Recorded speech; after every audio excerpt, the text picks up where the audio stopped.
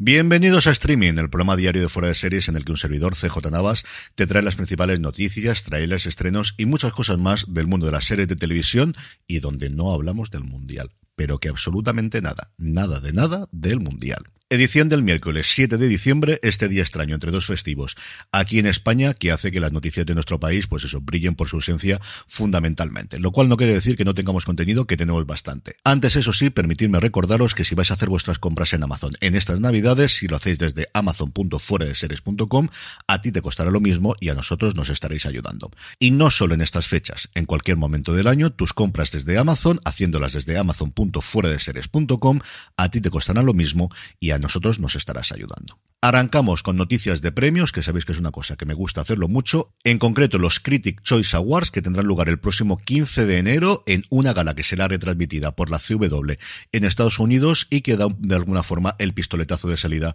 para los premios al principio del año. La serie más nominada con seis en total ha sido Abbott Elementary o Colegio Abbott, la serie que podéis disfrutar, y digo bien disfrutar, en Disney Plus, seguida de la última temporada de Better Console con cinco nominaciones y a partir de ahí Gaslit, una serie totalmente perdida dentro de Starz o Lionsgate Plus, como habría que decir ahora, The Good Fight en su última temporada, también muy ignorada por los premios, y Reservation Dogs, esa pequeña joya cuyas dos temporadas tenéis disponibles también en Disney Plus, que han recibido cuatro nominaciones. Las categorías principales, para darnos una idea de por dónde pueden ir los Globos de Oro, que este año vuelven, y ya, pues mira, un poquito de adelanto de lo que pueden ser los semi del año que viene. En Mejor Drama tenemos Andor, Bad Sisters, Better Call Saul, The Crown, Euphoria, The Good Fight, La Casa del Dragón, Separación, casi un año después de su estreno, y Yellowstone, que poco a poco empieza a meterse ya también en los premios. En comedia, la ya nombrada Abbott Elementary, Barry, The Bear, que la han nominado como comedia, de lo cual tampoco estoy en desacuerdo, Better Things por su última temporada,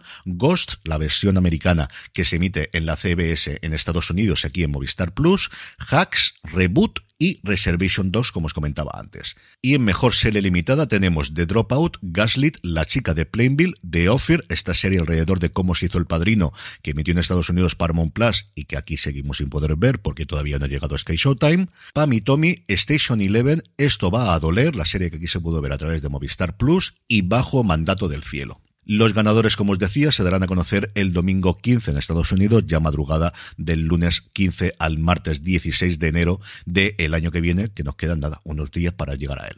En cuanto a proyectos de nuevas series, Netflix se suma a la locura de Hollywood por hacer series del oeste después del exitazo de Yellowstone y ha encargado una serie llamada American Primeval que va a suponer el reencuentro de Taylor Kitsch y Peter Berg después de Friday Night Lights. Berg, de hecho, dirigirá los seis episodios de los que consta esta serie que de inicio se plantea como limitada en la plataforma del Gigante Rojo, que estará creada por Mark L. Smith, el guionista, entre otras cosas, de The Revenant. La serie se describe como una exploración cruda y aventurera del nacimiento del oeste americano, las colisiones violencias de culturas, religiones y comunidades a medida que hombres y mujeres luchan y mueren por el control de este nuevo mundo, por una tierra que creen que es su destino. La premisa, desde luego, no es nada nuevo bajo el sol, pero a mí dame a Taylor Kitsch y dame al Peter Berg y desde luego que estaré ahí para verla. El otro proyecto es una cosa más que curiosa llamada Los Descendientes, que es una serie sin plataforma todavía a día de hoy, en el cual los herederos de Mahatma Gandhi, Eleanor Roosevelt, Winston Churchill y Martin Luther King van a abrir el archivo histórico de sus famosos antecesores y contar historias íntimas que hasta ahora nunca habían revelado. Es cierto que los documentales, cuando tienes esta oficialidad, pues puedes perder un poquito de mordiente, ganando, eso sí, el acceso, pero desde luego son cuatro personajes realmente interesantes y me apetece mucho ver esta serie. Y por su parte, Tony Wahlberg, que no ha vendido una, sino dos series a CBS. No hay desde luego como participar en una serie de tantísimo éxito como Blue Bloods para estar a bien con una determinada cadena. Las dos con un tono policial, pero bastante diferentes entre sí. Por un lado, Samaritan, no confundir con la malograda película para Prime Video de Sylvester Stallone, que yo creo que tiene una buena premisa pero una mala ejecución.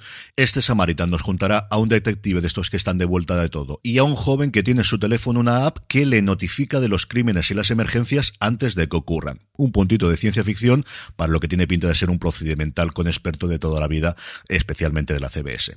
El otro proyecto tiene tintes más clásicos, se llama Harbor Blue y nos mete en la unidad especializada de la policía de Nueva York encargada de controlar el territorio marítimo alrededor de los cinco barrios de los cinco barrios de Nueva York. 576 millas de costa que vienen a ser unos 927 kilómetros precio de amigo que ya son metros y kilómetros para perseguir a malvados dentro y fuera del agua. En el apartado de fichajes, uno importantísimo, de Palas, El Palacio, la serie de HBO que cuenta la caída de un régimen autoritario en su último año y que va a protagonizar Kate Winslet, ya tiene que le acompañe ni más ni menos que Hugh Grant. Si ya la tenía antes en el radar, os podéis imaginar que ahora todavía muchísimo más.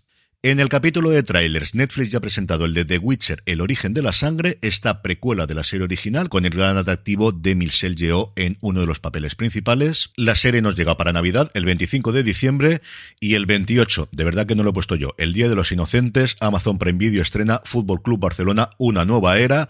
No, no es día para hablar de fútbol, pero yo os dejo el tráiler y como siempre los podéis ver los dos en la newsletter de Fuera de Serie, ya sabéis, newsletter.fueradeseries.com para suscribiros de forma gratuita, poder ver todas las noticias y también todos los trailers que comento aquí. En cuanto a estrenos, hoy tenemos tres, los tres de Netflix. Por un lado, La Flor Más Bella, curvilínea con un pelazo y segura de sí misma. Mitch sabe muy bien que es fabulosa.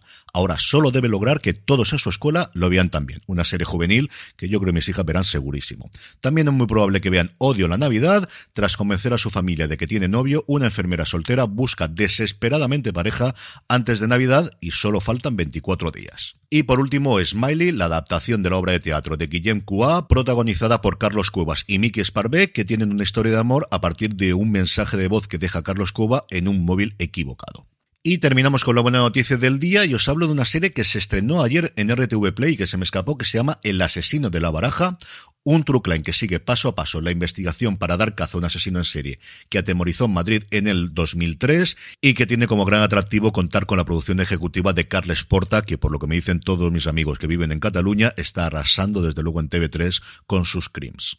La serie entrevista a los investigadores de la Policía Nacional, de la Guardia Civil, a los abogados, supervivientes y al criminólogo Vicente Garrido, con una estética que trata de recrear el cine negro de los años 70.